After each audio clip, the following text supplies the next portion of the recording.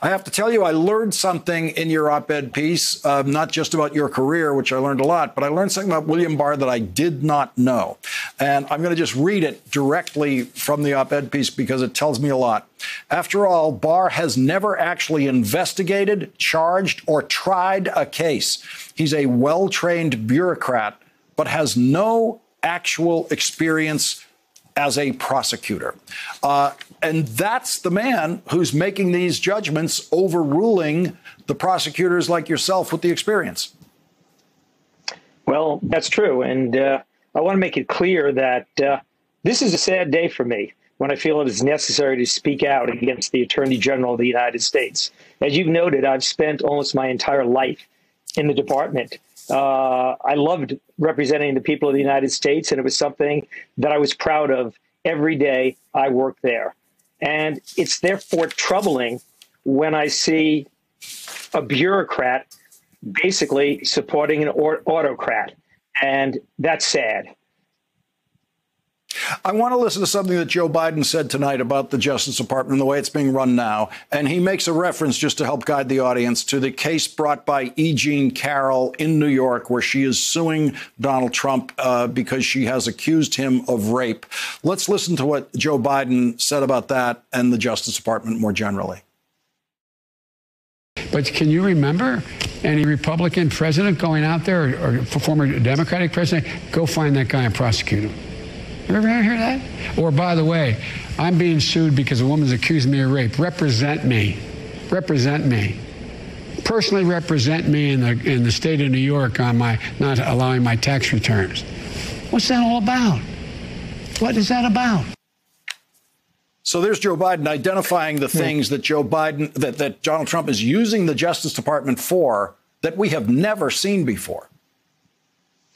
Uh, I think he may even be soft pedaling it. Uh, let me tell you, I hoped, uh, like many of my colleagues, that what he did in mischaracterizing the Mueller report was an honest mistake. It was just a sole misstep.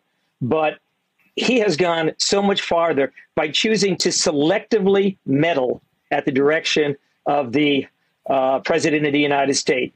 You see that in the Stone, the Flynn, the Manafort cases. And it's true as Joe Biden indicated, but he also could have mentioned the Department of Justice weighing in in his suit against Melania Trump's best friend. You know, he tried to block the publication of Michael Cohen's book. Now, the Attorney General has a right to weigh in on cases, but he has to do so fairly. It's not proper for him, you know, at the whim or the tweet of the president to castigate Black Lives Matters protesters in Portland but then turned a blind eye when armed right wing militia stormed the Michigan state capitol. And I'd go so far to say it was even worse than that, because following the Trump's tweet, then the attorney general tried to defend those actions by saying that he thought the actions there by the governor in trying to impose uh, public health uh, restrictions to help our citizens was the worst restriction of civil rights since slavery.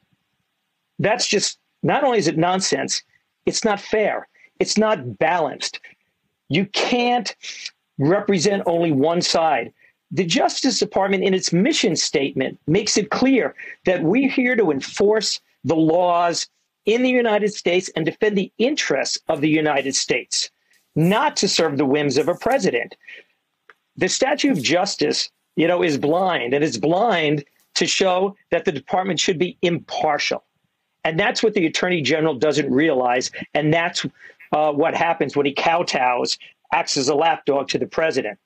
And we've seen this before from Kelly to Mattis to Bolton to Sessions. This president, Donald Trump, has made it crystal clear that there is simply no place in his administration for anyone, anyone who places loyal service to the people of the United States over service to him. That's a problem. It's a big problem.